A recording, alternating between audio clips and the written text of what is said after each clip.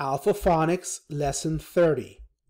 The sound is ch, ch, ch, as in ch, app, chap, chap, chat, check, chess, chick, chill, chin, chip, chop, chuck, chug, chum.